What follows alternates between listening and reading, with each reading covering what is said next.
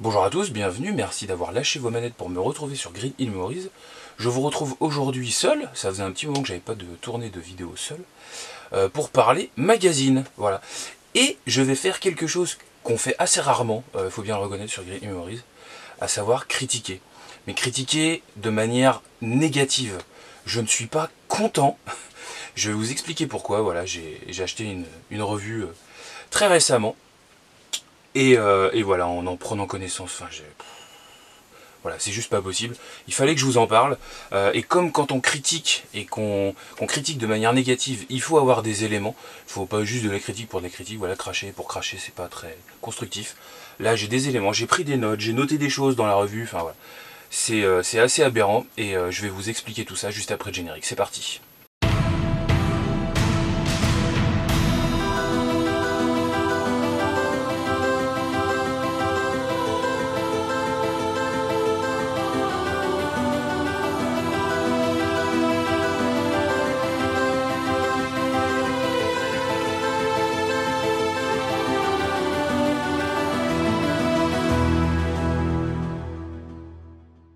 Je vais donc vous parler aujourd'hui d'un magazine tout récent, puisque, euh, alors je tourne cette vidéo, elle va pas être diffusée tout de suite, tout de suite, parce que le planning de la semaine est déjà fait.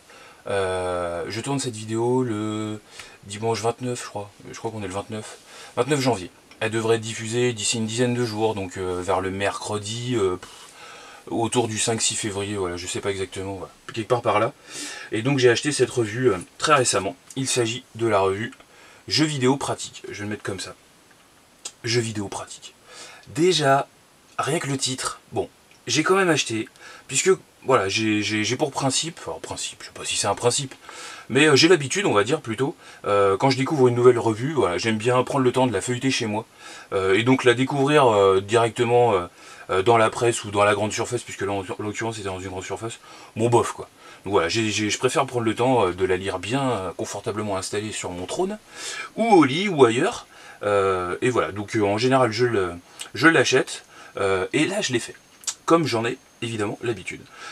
J'ai pris connaissance de la revue, je l'ai découverte, j'ai lu l'édito, j'ai lu divers articles, et j'ai été effondré. effondré, voilà. Alors je vous lis un, petit passage de l'édito. jeu vidéo pratique n'a pas pour vocation de servir la soupe aux éditeurs de jeux, ni aux services marketing afférents. Car voilà, nous sommes indépendants, indépendants en majuscule indépendant. 0% de pub, 100% de rédactionnel et la tête dans les étoiles. 0% de pub Ça part mal. Une pub pleine page ici. Une autre pub pleine page ici. J'espère qu'on les verra bien. Avec un clébard là. En plus, qu'est-ce que ça vient foutre dans un magazine de jeux vidéo ça? Sans blague. Une pub pleine page encore ici.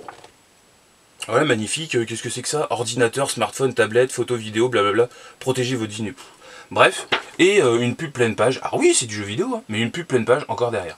Donc ça fait déjà, sur un magazine qui ne fait que 100 pages, déjà 4 pages de pub. Donc 4% de pub. 4% de pub. Voilà, donc déjà ça part mal. Ensuite, euh, ils ont un premier article, un premier article qui est absolument merveilleux, où ils expliquent justement... leur indépendance. Donc l'article se nomme la fin des indulgences. Quoi. La fin des indulgences. Voilà. Donc ils revendiquent leur indépendance, tout ça. Puis alors je vous, alors, je vous lis pareil un passage. Il faut savoir que la presse papier comme Internet a perdu de sa sublime déontologie à force d'en vouloir toujours plus. Tester des produits, c'est bien, mais dire ce que l'on en pense, ce n'est pas si simple. Par expérience, nombre de journalistes ont eu un jour ou l'autre l'obligation de ravaler un article en profondeur ou de modifier une note à un jeu pour la simple et bonne raison que le commercial de la société avait rudement négocié avec l'éditeur une pleine page de pub tarifée plusieurs milliers d'euros. Certes, c'est évidemment arrivé, je, pense que la plupart d'entre vous ont entendu parler du fameux euh, Doritos Gate par exemple, voilà, il y avait eu ça avec, euh, euh, voilà, je citerai pas le site parce que c'est un site que je boycotte bien volontairement, c'est devenu le voici du jeu vidéo, c'est ridicule, avec des, des news putaclic de partout, enfin voilà, horrible. Donc voilà, ce, site-là, je n'y vais plus. C'est euh, juste impossible. Euh, donc voilà, il y a eu évidemment euh, des faits comme ça, mais quand on lance une, revue, numéro 1, voilà, on vient de la lancer, est-ce que le premier réflexe, ça doit être de balancer sur les confrères, quoi? Est-ce que c'est comme ça qu'on part de la meilleure des manières? Je pense pas. En tout cas là, derrière, enfin voilà, derrière il faut être irréprochable. Vous allez voir que c'est c'est vraiment pas le cas. Alors continuons, continuons, puisque euh, donc voilà, il parle de voilà, il y a deux minutes je vous expliquais dans, enfin je vous, lisais ce qu'il disait dans l'édito, 100% rédactionnel, 100% de rédactionnel. Ok, alors je retrouve le petit article qui nous intéresse. Euh, hop là, voilà, regardez bien. 100% rédactionnel, une double page avec une photo, une photo de FIFA, je pense, et 5 lignes. Euh, pardon, 7. 7 lignes. 7 lignes, mais écrit gros par contre. 100% hein. de rédactionnel. Et donc ça, c'est, euh, on va dire, c'est l'entête d'un article. Vous allez dire, bah ouais, mais il y a 15 pages de rédactionnel derrière. Non, non Il y en a deux. voilà. Une, une, une double page avec une photo pour introduire un article qui ne fait que deux pages et qui est inintéressant au possible, qui vous explique voilà vos jeux, euh, si vous savez pas comment faire, euh, différentes méthodes pour vous en débarrasser, donc la revente, la charité, l'archéologie. Voilà, c'est nul à chier. C'est vraiment nul à chier. Voilà. Et des doubles pages comme ça, il y en a partout. Hein. Il y en a partout. Regardez. Encore une autre double page, voilà, pareil, pour introduire encore un autre truc. Oh, la guerre entre les consoles et les PC. le, sujet a revu mille, mille fois. Euh, et, et, des doubles pages comme ça, on en a pour chacun des articles. Je vais vous en retrouver une autre, voilà, hop, Outlast, le jeu qui fait trop peur, voilà, encore une double page, et il y en a partout des trucs comme ça. Donc rendez-vous compte, on était à 100 pages, on enlève les 4 pages de pub, on enlève au moins, euh, on va dire, euh, je sais pas, il y a peut-être 6 euh, ou 7 fois ces doubles pages, on va dire 6 fois, j'ai pas compté. 6 fois de 12 plus les 4, ça fait 16, il reste plus que 84 pages à lire. C'est compliqué, hein Donc continuons. Euh, ah oui, il, y a un endroit où il parle des tests, j'ai pas noté euh, cet endroit-là où, où, ils disent qu'il faut faire des tests. Alors attention, et puis il y a une double page aussi pour introduire ce qu'ils appellent les tests. Voilà, allez, venons-en, voilà, très bien, ah magnifique, c'est merveilleux. Voilà, on arrive, une double page, pareil, voilà, une des, une des nombreuses doubles pages pour introduire un article, avec euh, les meilleurs jeux de 2017, et peut-être même des trois prochains millénaires. Cette accroche de merde. Bref, et qu'est-ce qu'on a derrière? Du rédactionnel en pagaille, des tests hyper fournis, oui, une double page pour Battlefield 1 avec bah, un petit pavé, voilà, une, petite vingtaine de lignes, et ça c'est un test. Avec derrière la note, elle est où? 9,5 sur 10. Voilà comment est argumenté le 9,5 sur 10, avec une double page, affreuse au passage, puisque franchement, moi je suis pas fan de Battlefield 1, euh, on va dire que c'est un jeu qui me passe un petit peu au-dessus de la tête, mais ils auraient pu trouver mieux comme illustration. Là, ça fait franchement pas rêver, quoi. C'est c'est consternant. Voilà. Et des, tests comme ça, on en a une ribambelle, et tous à chaque fois sur une petite dizaine de lignes. Donc voilà, du Zelda Twilight Princess, du Titanfall, Company of Heroes 2, voilà. Ils arrivent sur une même page à caser 3-4 tests, quoi. Voilà, mais c'est, consternant. Voilà, il y, en a, y en a plein partout. voilà, ça c'est des tests. Donc sur une double page, là on a la bagatelle de 6 tests. Ils annoncent les meilleurs jeux de 2017. En plus, c'est que ce sont que des, jeux qui sont sortis en 2016 qui sont testés, certains euh, assez mauvais. Enfin voilà, en tout cas que eux euh, estiment assez mauvais puisqu'ils ont mis un 5 sur 10 à Star Fox Zero. C'est sans doute justifié, j'ai pas joué au jeu, euh, mais ils, annoncent les meilleurs jeux de 2017 en introduction. C'est c'est merveilleux. Qu'est-ce qu'on a ensuite? Ouais, alors en plus il y a des bourdes, voilà. On a un article un petit peu what the fuck sur euh, le top 5 des minous dans les jeux vidéo. Bon, pourquoi pas, c'est un peu léger, euh, ça pourrait faire marrer. Mais donc il parle de Clonoa, et on y apprend que, euh, voilà, alors je cite, riche de nombreux épisodes et un poil oublié depuis les années 2000, sa dernière parution date de 2009 sur Wii. Donc là on parle de Clonoa, de nombreux épisodes. Clonoa, j'en ai fait une vidéo, je vous mettrai peut-être un petit lien si j'y pense. Il y a deux jeux sur G, enfin il y a trois jeux sur GBA, il y en a un sur PS1, un sur PS2, un sur WonderSwan et un sur Wii. Donc ça va faire 7 ou 8. J'appelle pas ça de nombreux épisodes. Il y a de nombreux épisodes de Mario. Il y a de nombreux épisodes de Sonic. Il y a de nombreux épisodes de FIFA. Il n'y a pas de nombreux épisodes de Clonoa. Vous allez dire que je joue un petit peu sur les mots. Celle-là, je vous l'accorde, ça m'a gonflé parce que Clonoa, c'est une, une, série que j'affectionne. Et ça m'a un petit peu saoulé de lire une telle ânerie. Voilà. Continuons, procédons, comme dirait euh, l'ami DGGX. Et on arrive au clou du spectacle puisque euh, on a une, rubrique. Alors je vous pose tout le reste, hein, parce que ça... Il y a des articles qui sont pas inintéressants, mais c'est tellement anecdotique par rapport à tout le reste de la revue. on a euh, le top. Les top meilleurs solus et astuces. On est en 2017 et ils nous sortent encore des astuces dans les magazines de jeux vidéo. Vous me direz, oh, t'es sévère, pourquoi pas? Pourquoi pas? Pourquoi pas oh, Une page, allez, une page. Une page J'essaie de vous le mettre comme ça. Donc deux pages là. 4 pages, 6 pages, 8 pages, 10 pages, 12 pages. Voilà, je vous, vous le fais pas tout en entier. Il y en a 24 pages. 24 pages Souvenez-vous, hein, on était sur 80 pages tout à l'heure à peu près de, rédactionnel, entre de, je vais mettre rédactionnel, et on a 24 pages d'astuces. Alors attendez, si encore c'était des astuces qui étaient intéressantes. Je vous en lis une, donc là on parle des, euh, euh, donc des top meilleurs solus et astuces sur les jeux de tir. Euh, on en a une par exemple, je vous lis texto. Hein. donc vous avez eu, il y a des espèces d'énormes images sur. Il y a très peu de texte. Hein. des énormes images avec, un petit blabla en dessous. Donc je vous, lis le blabla qui est sous cette image là. Complet. Hein. Donc c'est astuce numéro 4, pratiquer. Il n'y a pas de secret, donc on parle de FPS. Il n'y a pas de secret. Pour vous améliorer, vous allez devoir mouiller la chemise et pratiquer le plus possible le jeu. Vous allez aussi connaître, vous, allez ainsi connaître les maps, privilégier les petites au départ, les différents types d'armes, les cachettes, les petites astuces qui feront la différence. Patience.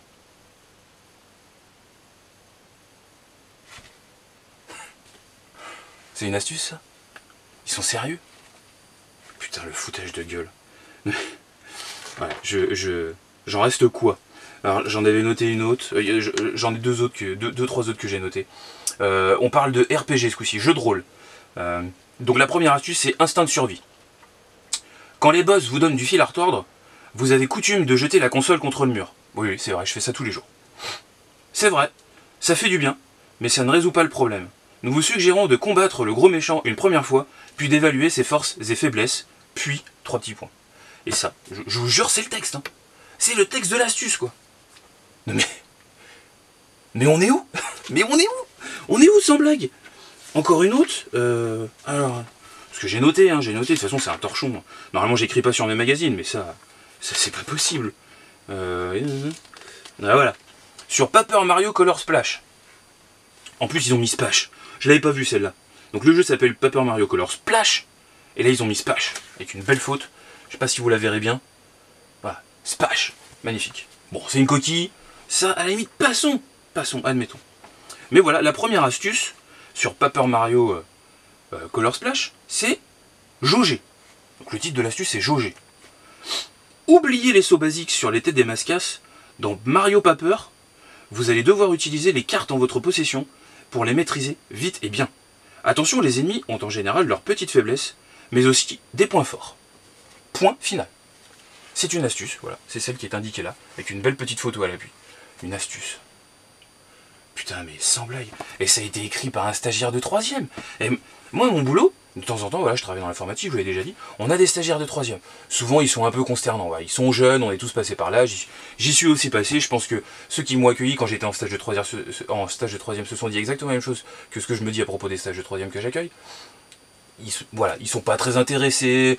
Euh, des fois, il y en a qui sont intéressés, mais bon, souvent, ils sont un petit peu là, euh, en mode je me fais chier, en mode j'écoute pas, en mode je suis sur mon smartphone, en plus, voilà, sur Facebook.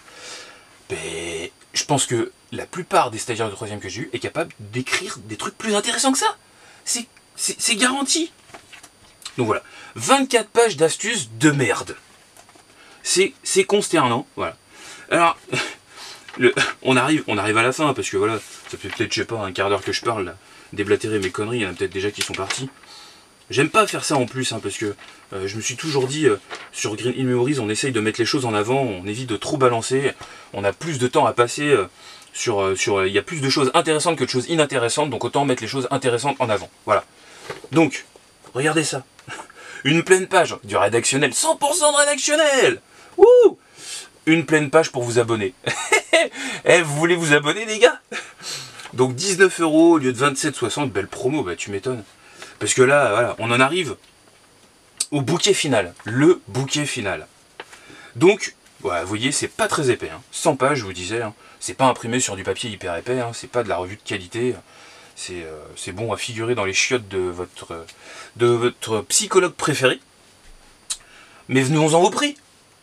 venons-en au prix.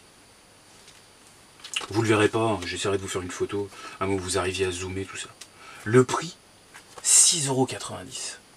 6,90€. Presque 7 euros. Allez, dégage. Donc, j'ai pas envie de cracher sur, euh, sur les, gens qui ont participé à ça. Parce que, voilà, il y a des rédacteurs, il y a des pigistes, il y a des mecs qui sont là, qui ont besoin d'un petit peu de blé, qui font un article par-ci par-là, ils sont payés comme ça. Moi, je leur crache pas dessus. Par contre, l'éditeur, l'éditeur, c'est une belle baltringue quand même. Parce que, enfin, c'est honteux de fournir un truc comme ça. Et encore, quand je dis j'ai pas envie de cracher sur les PJ, je veux dire, ils sont quand même responsables de ce qu'ils écrivent. Quand on voit le premier article où euh, c'est euh, Oh, nous on est plus fort que tout le monde, nous on se fera pas acheter, nous machin, nous ceci, nous cela. Ah merde, putain les gars, vous êtes monumentalement vautrés, c'est honteux, c'est honteux, c'est ridicule. C'est d'où le titre de la vidéo, jeu vidéo pratique explose en plein vol quoi. Ça fait même pas deux pages qu'ils ont commencé à écrire que c'est déjà terminé. C'est ridicule. C'est vraiment n'importe quoi. Je veux pas trop jeter la pierre aux pigistes, parce que c'est peut-être pas les pigistes quand même qui ont écrit euh, les deux premières pages. On n'en sait rien, il y en a qui ont besoin de blé, voilà. On est peut-être, voilà, je vous ai sorti celui-là, on est peut-être dans le même cas que ce, torchon aussi, dont j'avais parlé sur la page, puisque, euh, voilà, j'avais trouvé ça dans, un, dans une presse, pareil, voilà. Je tombe sur un magazine, pouf, spécialiste Box. Bon, voilà. Chacun sait que je suis plutôt Microsoft que Sony. Euh, je l'ai déjà dit à plusieurs reprises, voilà, j'ai une PS4, j'ai pas mal de jeux dessus, mais on va dire que pour euh, tout ce qui est en commun, euh, je joue plutôt sur la machine de Microsoft. Et voilà, j'essaie de la défendre un petit peu, puisqu'elle est un petit peu à la peine dans les, ventes, et on en parle peu, voilà, je voyais encore ce matin un article, je voyais la, page Square Enix, la page Facebook de Square Enix, qui disait voilà les, les dernières sorties du moment, et puis il y avait le Kingdom Hearts 2.8 HD, machin, et il y avait Hitman. Il y avait Kingdom Hearts 2.8, donc il y une exclue PS4, donc boîte PS4. Et il y avait Hitman, boîte PS4. Et là, je leur réponds, et la version Xbox One, elle pue Pour l'interrogation. Pourquoi ils mettent pas la version Xbox One? Déjà que la console a du mal, c'est la page d'un éditeur, donc Square Enix, qui propose ces jeux, ils mettent même pas la version Xbox One en avant. Mais c'est le cercle vicieux. Comment vous voulez que la console elle se vende quoi? C'est ridicule. Donc voilà, je vois ce truc là, je me dis, bon bah voilà, un hors-série spécial Xbox One, chouette, on va enfin pouvoir parler euh, Microsoft, on entend parler que de Sony, voilà, au moins euh, pour une fois ça va parler de ça. Et en fait, voilà, c'est un catalogue, un, vaste catalogue, où à aucun moment il n'est fait mention de la concurrence. Ça parle pas de Nintendo, ça parle pas de Sony. Il n'y a aucun recul critique qui est pris euh, à parler des jeux. Ça parle de la, de la, comment dire, de la sortie de la toute première Xbox qui était un four monumental. Elle est sortie en 2002. Au bout de deux mois, les mecs, ils ont été obligés de baisser le prix de 480 à 300 euros euh, parce que c'était beaucoup trop cher. Ils avaient donné des jeux et des manettes aux, gens qui avaient acheté des One. Donc c'était un, échec monumental. Et même si je défends Microsoft, que j'essaye de faire en sorte que voilà la, balance se rééquilibre, euh, mais c'était une honte la Xbox, la première Xbox euh, quand elle est sortie. C'était vraiment une honte. C'est voilà. Et, donc le, celui qui a écrit cet article, on en a parlé un petit peu sur Internet, parce que je le connais, voilà. je le citerai pas parce que j'ai pas envie euh, que... Voilà. S'il vient dans les commentaires, il donnera lui-même son nom s'il faut. Moi j'ai pas envie de, citer les noms de qui que ce soit. Euh, il a dit, bah, j'ai fait comme d'habitude pour cet article-là, j'ai écrit comme d'habitude. Je bah ouais, mais il y a aucun, enfin voilà, reconnais-le, il y a aucun recul critique, quoi. Comment tu peux évoquer la Xbox sans évoquer sa sortie? En Europe et partout dans le monde avec cet énorme échec quoi. C'est pas possible de ne pas mettre ça en, perspective avec tout le reste. C'est une, information hyper importante. Voilà. Et donc les articles sont pas sont pas euh, comment dire, euh, il y a de plus partout, les articles sont pas signés, enfin voilà, c'est un catalogue. Et donc ça c'était en plus un euh, soi-disant un hors-série de la revue The Game. Voilà, avec le petit The Game ici, on se dit, ah, ça va être de la qualité. Non, c'est de la merde. Donc c'est pareil, ça, voilà, ça, c'est poubelle. Voilà. Ça y est, j'ai fini de balancer. j'ai fini de balancer, on va passer à quelque chose de... Et donc, histoire de finir sur une bonne note, parce que voilà, je me suis un petit peu, je suis devenu tout rouge, là, à m'énerver sur ces, deux torches-balles, là. Je vais vous euh, donner quelques titres, enfin, quelques titres. Les, les revues qui, pour moi, sont intéressantes en 2017 puisqu'il y en a, évidemment. La presse vidéoludique euh, s'est monumentalement vautrée il y a quelques années. Euh, avec euh, la, disparition de Joypad. Alors, je vous ai pas montré. je sais pas si vous avez fait gaffe. Avec joypad.fr. Lol. Bref. Euh, donc voilà, on avait perdu il y a quelques années des revues historiques, qui, n'étaient plus que l'ombre d'elles-mêmes, certes, mais, mais des revues historiques comme Joypad, Console Plus, voilà. On a même eu Jeux Vidéo Magazine pendant un moment qui, qui sortait plus, qui a fini par ressortir. Mais voilà, on a perdu plein de, plein de revues historiques, des revues qui ont bercé notre adolescence. Des revues auxquelles on est très attaché, même si en les relisant aujourd'hui, avec un peu de recul, on se rend compte que ça volait quand même pas très haut. Mais voilà, ça on fera peut-être une vidéo sur le sujet, un de ces quatre avec des GGX. mais voilà, je vais vous montrer ce qu'il y a de bien en 2017. On va commencer par Retro Gamer Collection. Ça c'est super, ça c'est vraiment super, ils en sont au volume 8. ça coûte un peu cher, 12,90€, mais là pour le coup, et là pour le coup c'est assumé. Mince, pardon, les secrets de montage. Euh, là pour le coup c'est assumé. Euh, c'est cher, mais il n'y a pas de pub. Il n'y a vraiment pas de pub. Alors il y en a une au début, hein, il y en a juste une au début là, juste celle-là, et il y en a une derrière, voilà. Mais ça s'arrête là. Il n'y a rien d'autre, si je dis pas de bêtises. Euh, il y en a une autre là, voilà. C'est que les, pages de, couverture qui sont pubs. Et après, c'est 200 pages d'articles vraiment, euh, vraiment intéressants. Il y a plein de sujets différents. Alors ça fait un petit peu fouillis, on pourrait se dire ça. Il n'y a pas vraiment de fil conducteur dans ce magazine-là. par ailleurs, c'est de la traduction. Il y a énormément d'articles qui sont traduits, qui sont adaptés de la version anglaise qui s'appelle Retro Gamer. Euh, que vous connaissez sans doute. Euh, mais c'est pas juste de la traduction Google Trad, quoi. C'est retravaillé, je veux dire, il y a chacun euh, des, membres de la rédaction de Retro Gamer Collection met sa petite touche, rajoute son humour, enfin voilà, c'est pas de la traduction mot à mot, c'est vraiment très agréable à lire, c'est vraiment très bien fait, il y a des articles inédits en plus, si je dis pas de bêtises, et voilà, ça c'est vraiment sympa, et c'est très très éloigné du premier essai qui avait été fait, il y avait eu un premier essai de traduction par, l'éditeur Eurocom, là, ils avaient sorti deux, deux, deux, deux tomes, de, numéros. Euh, et là, c'était la, du Google Trad, c'était affreux, vraiment dégueulasse. Et ça s'est vautré. Et là, celui-là, voilà, ils en sont rendus au tome 8. Euh, et ça, c'est vraiment très très bon. Et c'est bien épais, avec du papier voilà, de bonne qualité, c'est bien lourd. Ça, c'est bon, ça. Ensuite, on a JV. JV, voilà, je vous en parle régulièrement sur la page Facebook. Ça, c'est vraiment très bien. Ça, c'est... J'ai tendance à dire, même si euh, on m'a contredit parfois, que c'est une, une revue pour trentenaires. Voilà.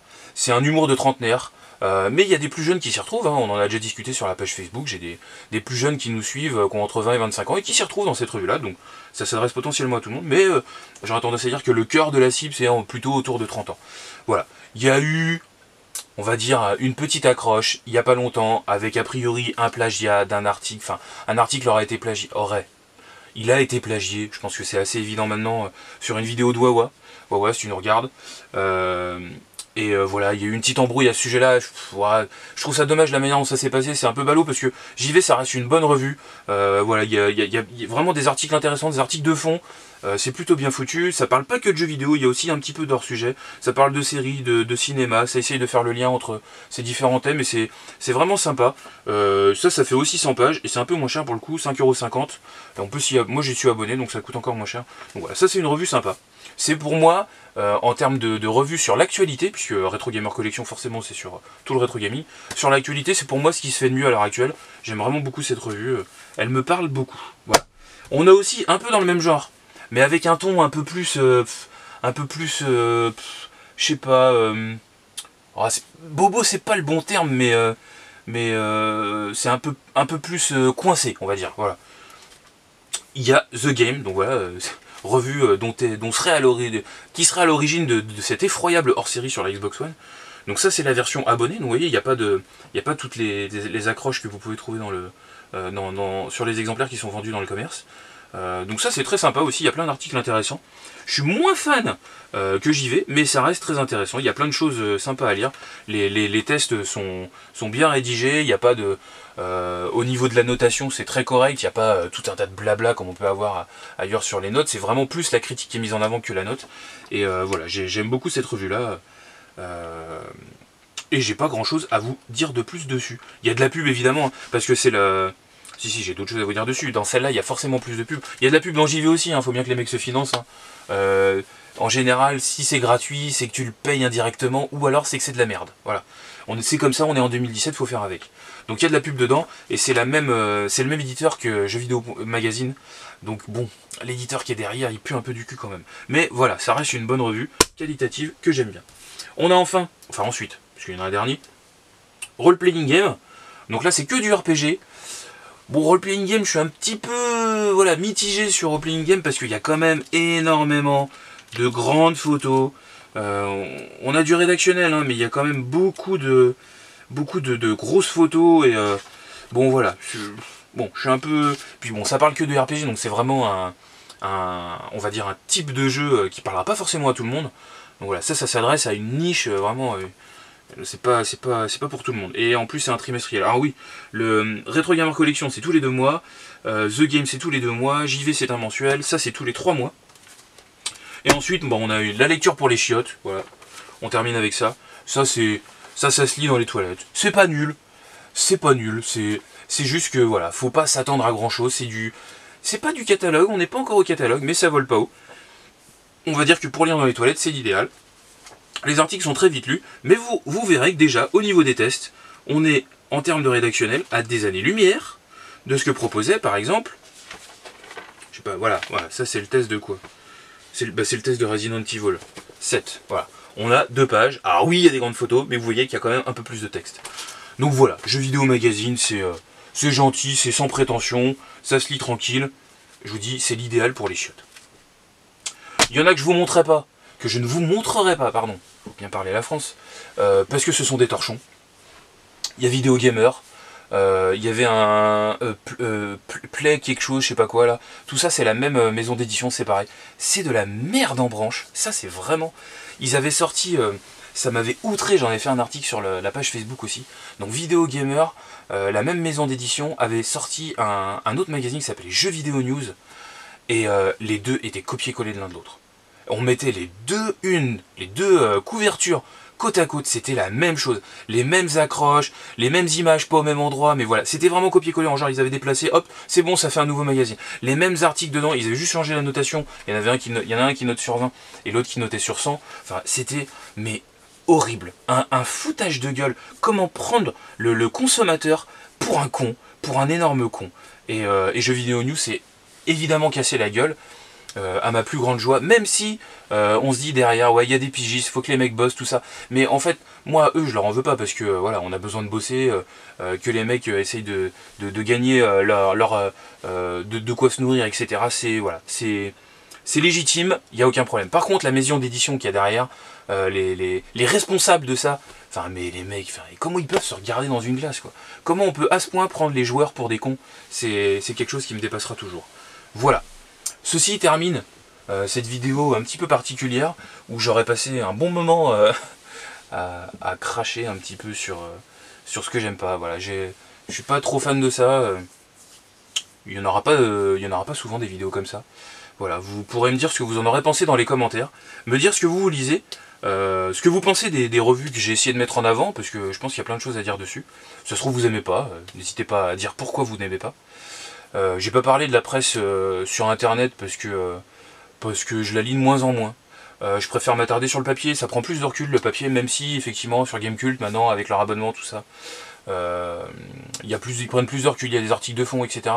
Mais payer un abonnement pour quelque chose d'immatériel, moi je, je, suis attaché au papier, j'aime bien avoir ma bibliothèque avec mes revues dedans, je peux sortir quand je veux, pas besoin d'être connecté, voilà, je peux lire où je veux, euh, au fond de mon lit avec un bouquin. Je suis attaché au, à la revue, quoi, la tenir dans les mains, lire sur un écran, ça me ça m'éclate pas, quoi.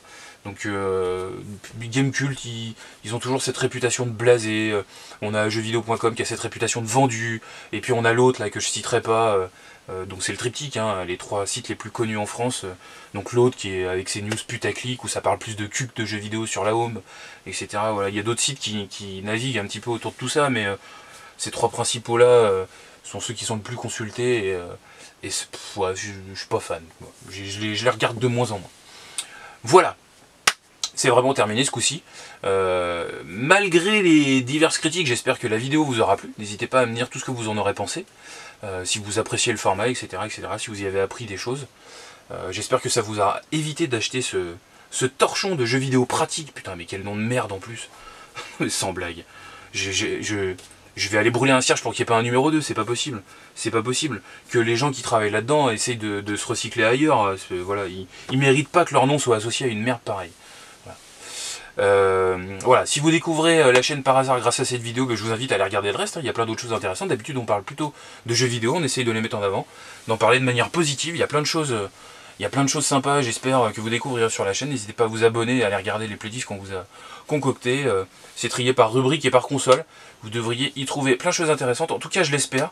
Et puis, on vous retrouve très prochainement pour tout un tas d'autres vidéos avec nos, multiples intervenants. Donc avec DGJX, évidemment.